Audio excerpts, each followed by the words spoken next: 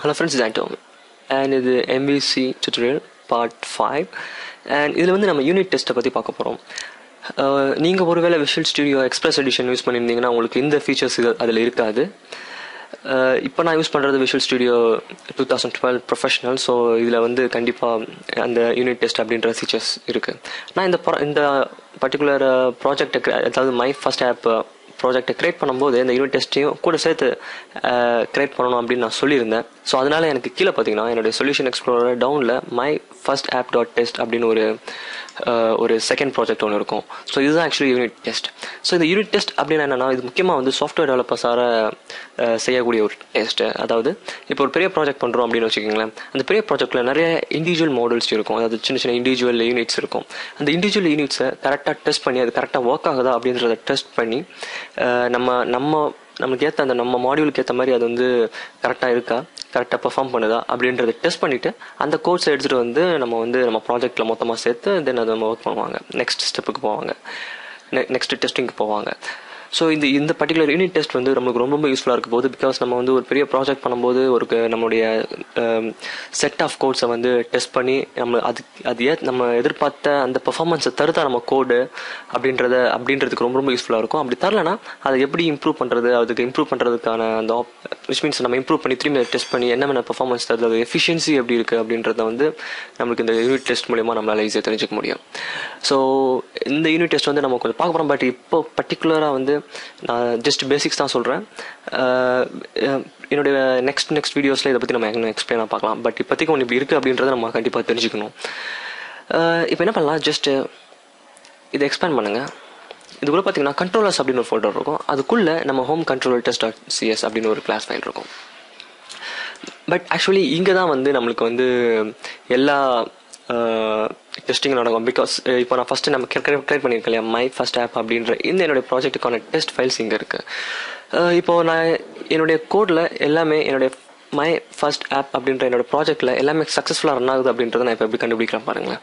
Just என்னுடைய my ஆப்பில் வச்சுட்டு ஜஸ்ட் ரன் ஆல் டெஸ்ட் அப்படின்னு நான் கொடுக்குறேன். ஓகே கீழே பார்த்தீங்கன்னா எனக்கு பில்டிங் ஸ்டார்டட் சக்ஸஸ்ஃபுல்லி வந்துருச்சு. ஓகே என்னுடைய லெஃப்ட் ஹேண்ட் சைடில் பார்த்தீங்கன்னா உங்களுக்கு பாஸ்ட் டெஸ்ட் அப்படின்னு இருக்கும். அபவுட் கான்டாக்ட் இண்டெக்ஸ் ஸோ மூணுமே நமக்கு சக்ஸஸ்ஃபுல்லாக இருக்குது ஏன்னா என்னுடைய வெப் பேஜில் index page contact test contact page about test page இந்த மூணு பேஜ் தான் இருந்தது. நான் வந்து என்னுடைய முக்கியமாக இதை நான் எப்போ எதுக்கு யூஸ் பண்ண போகிறோம் அப்படின்னா நம்ம வெப் அப்ளிகேஷனை டெவலப் பண்ணிவிட்டு அதை ஃபயர்ஃபாக்ஸில் வியூ பண்ணி எரர் வர்றதுக்கு பதிலாக நம்ம டேரெக்டாக நம்ம கோடு எழுதிட்டு இந்த இடத்துல நம்ம டேரெக்டாக டெஸ்ட் ரன் ஆல் டெஸ்ட் அப்படின்னு கொடுத்தோம்னா இது ஆட்டோமேட்டிக்காக எல்லாத்தையும் நமக்கு டெஸ்ட் பண்ணி நம்மளுக்கு எல்லா கூட கரெக்டாக ஒர்க் ஆகுதா அப்படின்றத நமக்கு சொல்லி கொடுத்துரும். அதாவது நம்ம வந்து வியூ இன் ப்ரௌசர் போய் ப்ரௌசரில் போய் பார்க்கறதுக்கு முன்னாடியே நம்ம இதிலேயே பார்த்து சால்வ் பண்ணிடலாம். இது வந்து இதில் இருக்க ஒரு பெரிய அட்வான்டேஜ் ஓகே இப்போ எல்லா டெஸ்ட்டும் இதில் பாஸ் ஆகுது.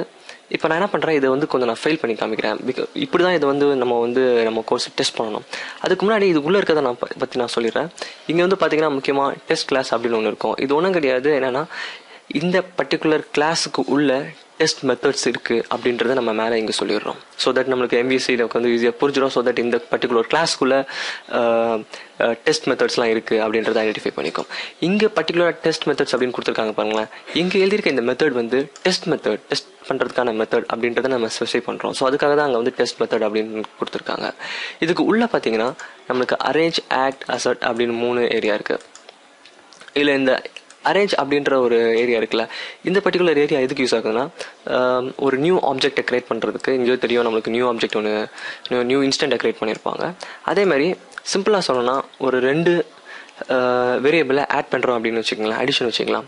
அடிஷன் பண்ணுறதுக்கு முன்னாடி இன்ட்டு எப்படி போடுவோம்ல?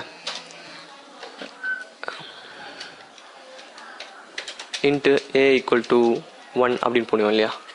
ஸோ இது வந்து நம்ம வேல்யூவை ஒரு ஒரு சின்னதாக ஒரு வேரியபிள் கிரியேட் பண்ணுறோம் அதுக்கு வேல்யூ அசைன் பண்ணுறோம் ஸோ இது மாதிரி வேல்யூ அசைன் பண்ணுறது ஒரு ஆப்ஜெக்டை கிரியேட் பண்ணுறது எல்லாமே வந்து இந்த அரேஞ்ச் ஏரியாவுக்குள்ளே நடக்கும்.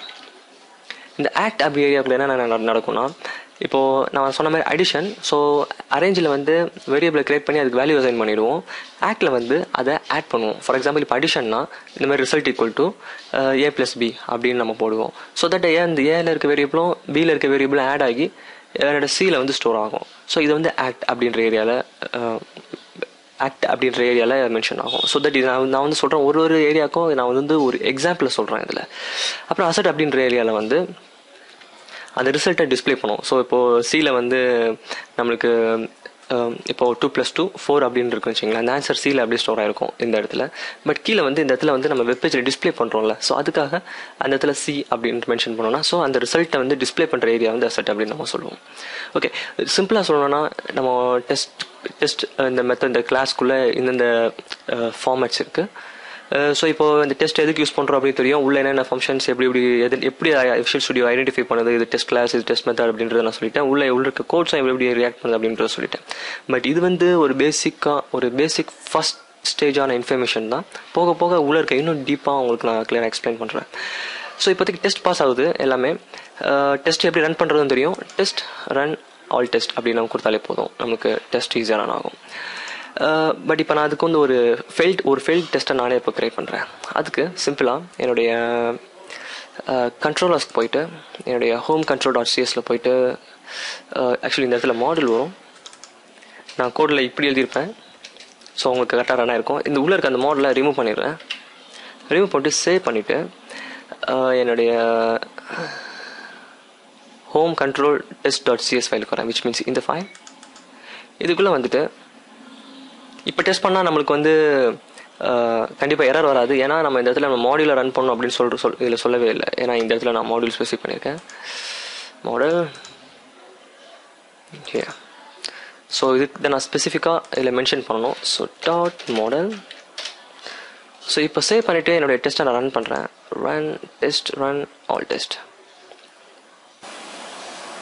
okay என்னோடய லெஃப்ட் ஹேண்ட் சைடில் பார்த்தீங்கன்னா அபவுட் வந்து அப்படி ஃபெயில் ஆயிருக்கும். இது உண்மையாக சொன்னால் object reference not set to instance of an ஆப்ஜெக்ட்னு நமக்கு எரர் வரும் ஆக்சுவலி இந்த இடத்துல இந்த மாடல் இல்லைன்னா இதை நான் வந்து என்னுடைய ஃபயர் ஃபாக்ஸில் ரன் பண்ணி காமிக்கிறேன். அண்ட் இதில் அபவுட் அஸ் ஸோ பார்த்தீங்கன்னா நம்மளுக்கு object reference not set to instance of an ஆப்ஜெக்ட்னு ஒரு எரர் வருது. ஸோ இங்கே. ஓகே ஸோ இந்த வெப்பேஜில் அந்த வந்து நம்மளுக்கு வெப்பேஜில் வந்து வெப்பேஜில் பார்க்கும்போது நம்மளுக்கு இந்த எரர் வரதை விட இந்த யூனிட் டெஸ்ட்லேயே நம்ம அந்த எரரை கண்டுபிடிச்சிடலாம்.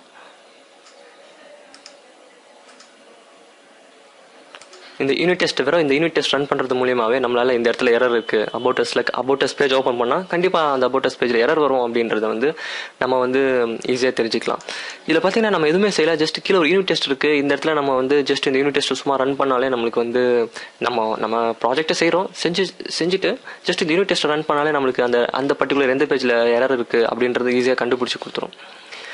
இது வந்து சின்னதாக இருக்கும்போது உங்களுக்கு இப்படி இருக்குது பட் இன் கேஸ் நீங்கள் நினச்சி பாருங்கள் உங்கள் உங்கள் நம்ம அப்ளிகேஷனில் வந்து ஒரு ஒரு ஃபிஃப்டி பேஜஸ் இருக்குன்னு வச்சுக்கோங்க. ஸோ அந்த மாதிரி சுச்சுவேஷனில் நம்ம இந்த யூனிட் டெஸ்ட்டை ரன் பண்ணும்போது எந்தெந்த எத்தனாவது பேஜில் எந்த லைனில் எரர் இருக்குது அப்படின்றத இந்த யூனிட் டெஸ்ட் மூலிமா நம்மளால் ஈஸியாக கண்டு கண்டுபிடிச்சிட முடியும். யூசர்ஸ்க்கு இந்த நம்ம அப்ளிகேஷனை யூஸ் பண்ணுறவங்க இந்த இந்த எல்லோ பேஜ் இந்த எரர் மெசேஜை பார்க்கறதுக்கு நம்ம அதுக்குள்ளேயே நம்ம வந்து இந்த யூனிட் டெஸ்ட் யூஸ் பண்ணி ஈஸியாக நம்மளால் எரர் இந்த எந்தெந்த இடத்துல எரர் வருது அப்படின்றத கண்டுபிடிச்சிட முடியும். இது முக்கியமாக eh, சொல்லணும் அந்த விஷுவல் ஸ்டுடியோக்கு தான் தேங்க்ஸ் மியூசிக் தான் தேங்க்ஸ் சொல்லணும் அண்ட் விஷுவல் ஸ்டுடியோக்கு ஏன்னா நம்மளுக்கு இப்படி ஒரு ஃபீச்சர்ஸை கொடுத்துருக்காங்க. எந்த ஒரு கோட்மே எழுதாமல் ஜஸ்ட் அதுவே ஆட்டோமேட்டிக்காக நம்மளுக்கு யூனிட் டெஸ்ட்டை கிரியேட் பண்ணி கொடுத்துருக்கு. சிம்பிளாக ஸோ இது வந்து visual studio two thousand twelve இருக்க ஒரு மிகப்பெரிய ஃபீச்சர் um, uh, நம்ம கோடையும் அனலைஸ் பண்ணுறதுக்கு ஒரு uh, ஒரு சூப்பர் ஃபீச்சர் இதில் இருக்குது ஸோ இப்படி யூனிட் டெஸ்ட் ஒன்று இருக்குது நான் திரும்பி ஒரு சம்மரி மாதிரி சொல்லிடுறேன். யூனிட் டெஸ்ட் ஒன்று இருக்குது அந்த டெஸ்ட் எதுக்குன்னா நம்ம வெப் ப்ரௌசரில் போய் அந்த எரரை கண்டுபிடிக்கிறதுக்கு பதிலாக நம்ம யூசர் அதை வந்து கண்டுபிடிக்கிறதுக்கு பதிலாக நம்ம ஈஸியாக நம்ம யூனிட் டெஸ்ட் ரன் பண்ணுறது மூலியமாக ஈஸியாக கண்டுபிடிச்சிடலாம். நான் இது சொல்கிறது வந்து ஒரு ஐம்பது பேஜ் எடுத்ததுன்னா நான் இந்த ஐம்பது அம்- எத்தனாவது பேஜில் எத்தனாவது லைனில் அந்த எரர் இருக்குது அப்படின்றத கண்டுபிடிக்கிறது கஷ்டம். ஸோ இந்த யூனிட் டெஸ்ட் ரன் பண்ணுறது மூலியமாக நம்ம ப்ராஜெக்டில் இருக்க எல்லா மெத்தட்ஸையும் இதை வந்து ரன் பண்ணி அதில் எந்த மெத்தட்ஸில் எரர் இருக்குது அப்படின்றத ஈஸியாக ஐடென்டிஃபை பண்ணி அதோடைய லைனையும் நம்மளுக்கு ஸ்பெசிஃபிக்காக சொல்லிடும். ஸோ தட் நம்ம யூனிட் டெஸ்ட் வந்து ரொம்ப ரொம்ப யூஸ்ஃபுல்லாக இருக்கும் நம்ம டெவலப்பர் சைடில் ஸோ இது கீழே பார்த்தீங்கன்னா நமக்கு எரர் லைன் காமிக்கும். ஸோ தான் சொன்னேன் லைன் தேர்ட்டியில் ஸோ லைன் தேர்ட்டியில் ஸோ இந்த மெத்தடில் எரர் இருக்குது அப்படின்றது ஈஸியாக கண்டுபிடிச்சிடும் ஸோ இதுதான் அந்த யூனிட் டெஸ்டோடைய முக்கியமான ஒரு குறிக்கோள்.